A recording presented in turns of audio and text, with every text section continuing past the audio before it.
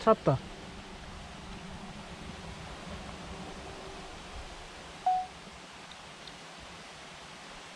여기 지금 수액이 터졌거든요.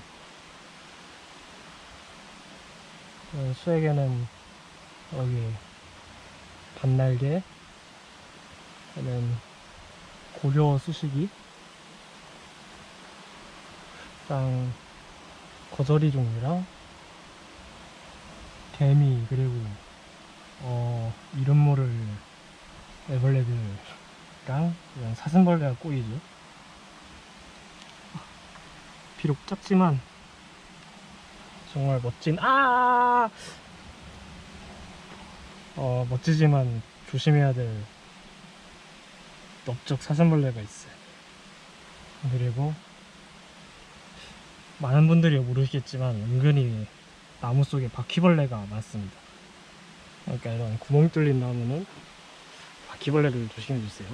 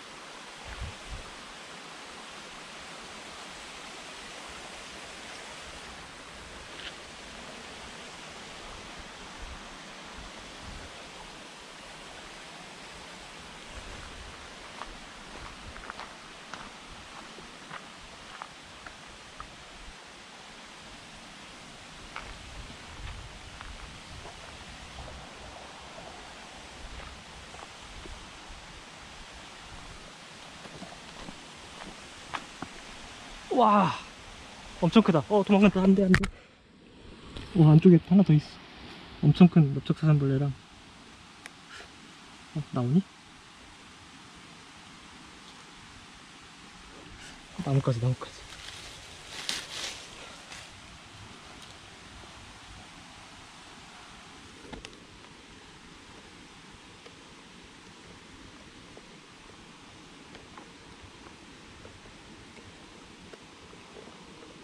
어, 나와.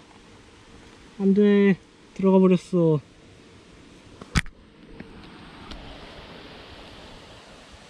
어, 엄청 큰 대형 넓적 사슴벌레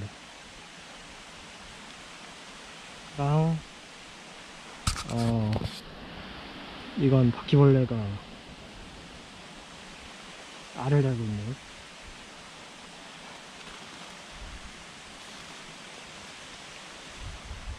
와, 이거 하나 잡은 것만 해도 대성공입니다.